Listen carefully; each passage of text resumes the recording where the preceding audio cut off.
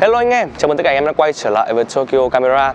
Hôm nay chúng ta lại trở lại với chuyên mục là trick của One X2 Và có lẽ đây sẽ là cái số cuối cùng mà mình chỉ cho anh em về những cái trick ở trên One X2 Đằng sau mình đây thì đang có một cái bách tường như này.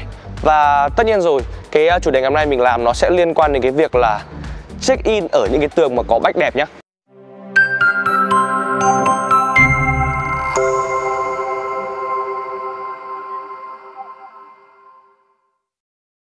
Và trước khi vào video thì những cái sản phẩm này nó đều đã được bán tại Tokyo Camera. Và anh em có thể là tham khảo tại website của Tokyo Camera nhé.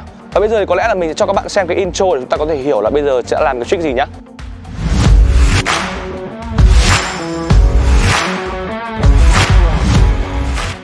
Thì anh em vừa xem cái video này xong thì bây giờ mình sẽ ờ, hướng dẫn em cách làm.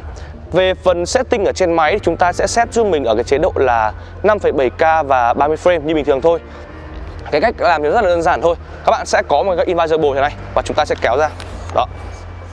Đâu đó là sẽ khoảng là bốn cái khớp như này. Rồi. Và việc của các bạn sẽ là ấn nút quay và chúng ta sẽ để ngang cái gậy đây như thế này. Đây. Đó. Các bạn sẽ đứng sát vào tường giúp mình. Rồi, và chúng ta sẽ quay một chiều như này.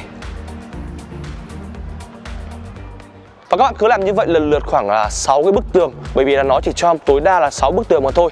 Ok và bây giờ thì mình sẽ bắt đầu là edit cái video vừa rồi các bạn nhé. Đó chúng ta sẽ chọn được phần story này. Ở trong phần này thì các bạn sẽ kéo xuống giúp mình một cái hiệu ứng nó có tên là time flip các bạn nhé. Đây, đây là phần time flip này. Đó. Và các bạn sẽ chọn ra 6 cái video các bạn ưng ý nhất nhé.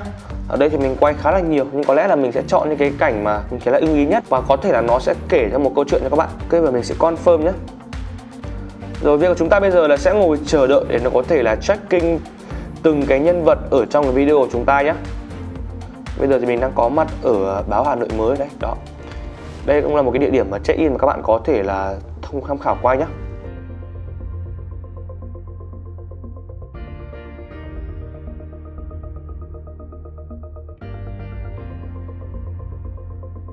Đó. Vậy là mình đã có 6 cái video của mình ở đây rồi và đây mình sẽ xem thử từng cái một này. Ở đây thì mặt mình nó hơi được, thì nó không được tươi cho lắm, các bạn có thể bỏ qua giữa mình. Đó, bây giờ thì à, việc của mình sẽ là chọn 6 cái này để có thể là export nó ra nhé đó, mình sẽ direct export này.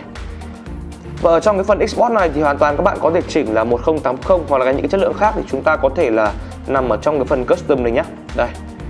Ở trong phần custom này thì à, nó có khá là nhiều, các bạn có thể chọn là lên 2K cũng được có thể là mình sẽ làm cái đó thành 2K đi.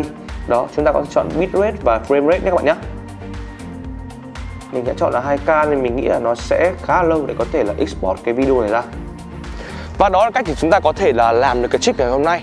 Và mong rằng là với chia sẻ của mình thì các bạn có thể là làm được những cái kiểu mà check in nó độc đáo hơn ở những cái bách mà nó đẹp nhá và cuối cùng thì đừng quên like và subscribe channel của Tokyo Camera nhé. Chào anh em.